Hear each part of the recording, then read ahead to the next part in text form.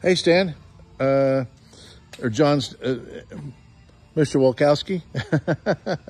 uh, so uh, we uh, wanted to show you this is we're to a stopping point right here, both in terms of budget and in terms of uh, where we needed to be, considering where we are in the budget.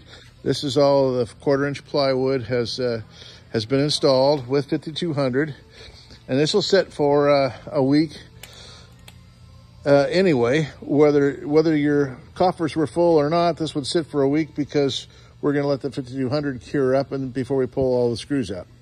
And then we'll, of course, the next steps after that will be to put your planks, which are over here, back on, pre-drill every hole, and then we'll pull those planks off and mud every plank individually and put them down individually and put the screws back in the holes and uh, and get ready and, and, actually in one day uh, with lots of workers we apply the bottom.